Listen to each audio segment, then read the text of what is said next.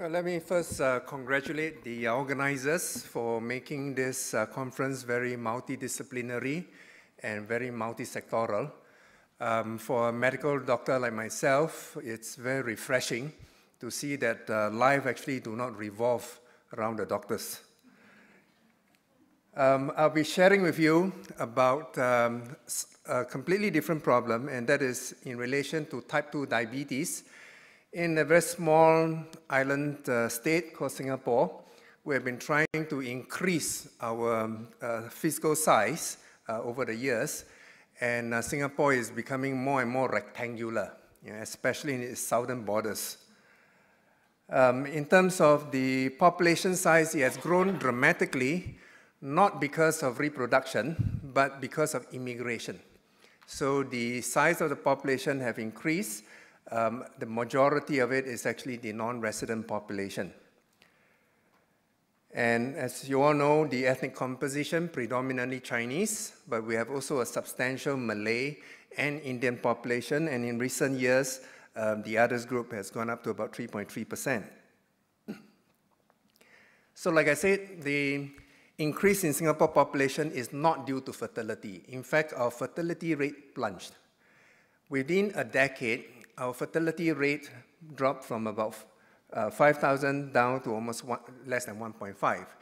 To give you a personal example, my mom has 10 kids. I'm number 10.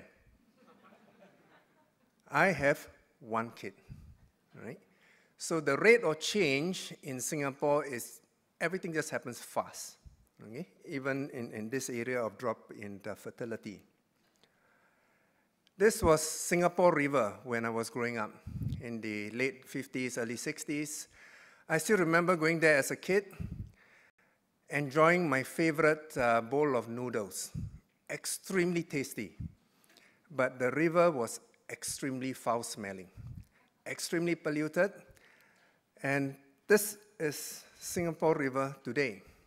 You still have nice food, not as nice as my noodles in the past, Things are very clean. There's even fish and aquatic life in the, in the river. And again, things change very rapidly. Public housing. When I was a medical student in the 70s, uh, this is where I stayed. The same location is now full with high-rise flats, and the most impressive um, uh, public housing is now called the Pinnacle, where the high-rise blocks of 50 over stories are linked with gardens in the sky.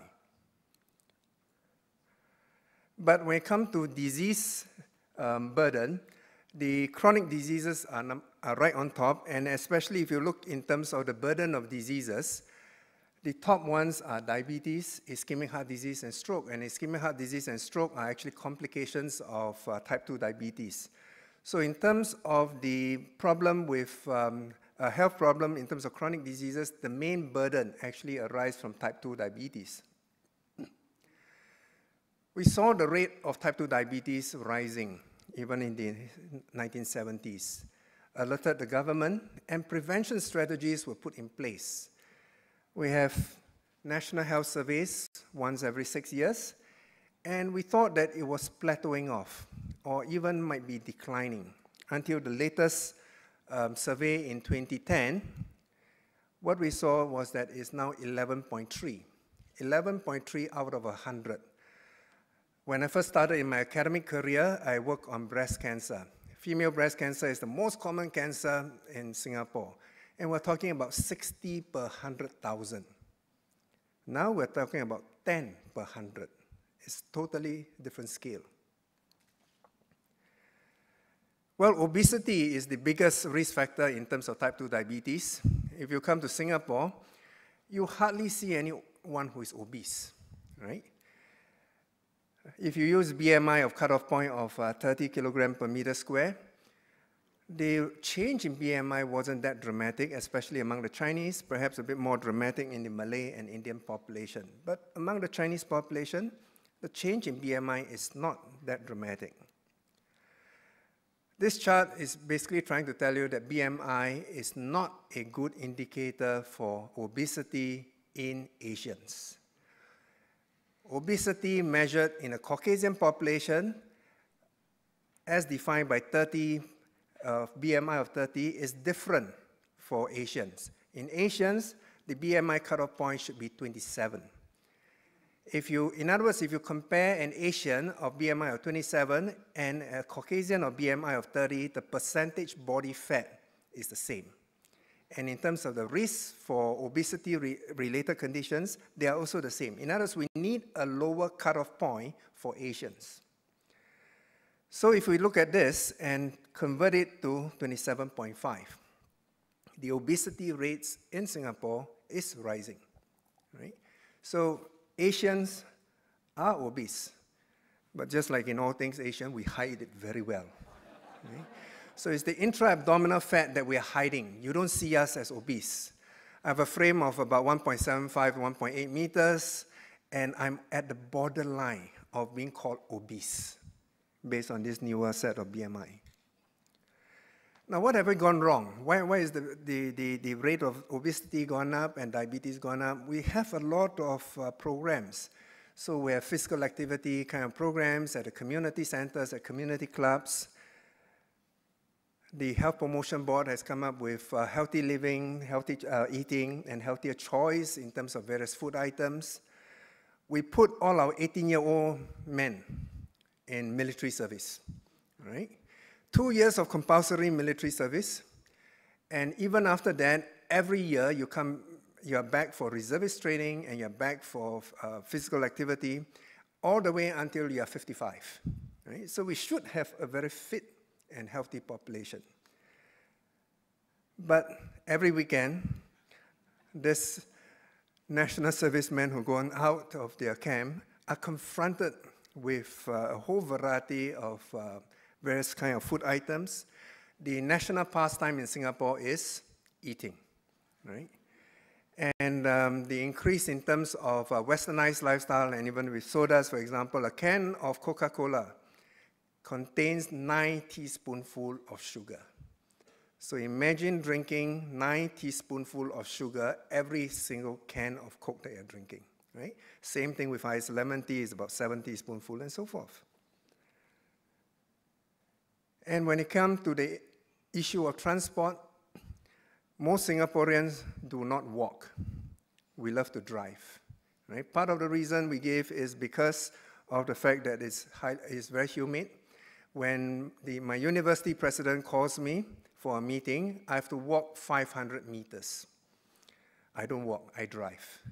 The reason is because if I don't drive, um, I'll be drenched and perspiring when I meet my university president, or I may be caught after the meeting, it may be a heavy downpour, and I can't get away from his office. And the mass rapid transport system, as well as the public transport, the, one of the objectives is to cut down the amount of time or the di distance that is needed for walking. So one of the goals was less than 500 meters um, that a commuter needs to, to walk between stations. So my final slide here, I just want to cover the point on urbanization and obesity.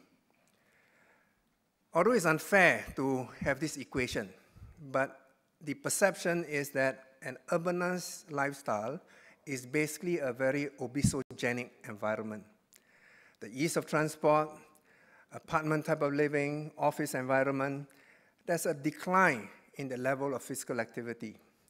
And there's a conflict in terms of health messages versus the ease and easy availability of unhealthy food items.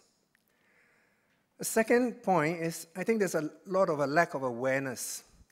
There's a superficial level of knowledge in terms of uh, what are the causes of obesity and the causes of type 2 diabetes. Last weekend, we just, I just conducted a breakfast for some CEOs and we're sharing with them about the problem of type 2 diabetes, that employers need to own the problem. That as you have um, increasing um, uh, age of retirement, the working the proportion of people with type 2 diabetes is going to increase in, among the working population. Most of the CEOs were rather shocked that they are going to be faced with workers suffering from type 2 diabetes and the cost of looking after them. Secondly, though I'm a molecular epidemiologist, I've been doing quite a lot of uh, genomic studies. the genomic studies have distracted us. Essentially, we were hoping that the genomic era could, find, could identify for us genetic risks for common diseases. The sad truth is you cannot blame your genes. You cannot blame your genes when it comes to type 2 diabetes. You cannot blame your genes when it comes to obesity. Even if you are genetically predisposed to um, obesity, like for example the FTO gene, you could reverse it with sufficient physical activity. And finally, there's a lack of coordination. The need for multi-sectoral, multi-agencies, and a whole of government approach. In other words, the control of obesity, the control of diabetes should not be just the problem of the Ministry of Health.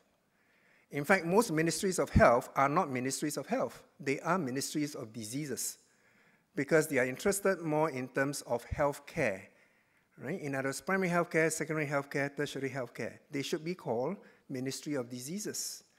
If you are Ministry of Health, you should be focusing on primary healthcare. So the need to have a multi-sectoral approach in terms of um, uh, a multi-ministry approach and whole of government approach in terms of, of uh, control and prevention of chronic diseases. And finally, that because of the rate of change, as well as the increased expectation of the community and the population, and the pressure for governments to have what we call evidence-based policy making. Perhaps we need to have a new way of thinking of how do we create the evidence. The traditional medical approach is we conduct a trial. We conduct a community trial. If I want to see if if I'm going to see the effects of, um, of lifestyle changes on um, um, the rates of diabetes, I will need a trial that takes 30, 40, 50 years. The ministers would have changed five or six times, and in some countries, 50 or 60 times. So the, the, perhaps we need to have some form of uh, integrative modeling and simulation to come up with evidence. In other words, it, it's a form of collecting what, whatever data is out there that's available and integrate them and run simulations. And perhaps that's a way of uh, being able to provide evidence-based policy making. Thank you.